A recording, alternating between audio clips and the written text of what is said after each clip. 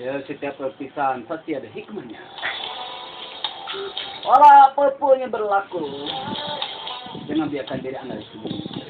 Ah. Ya, jangan biarkan diri Anda disembunyi istri. Andanya, siapa yang tahu? Suspense dulu.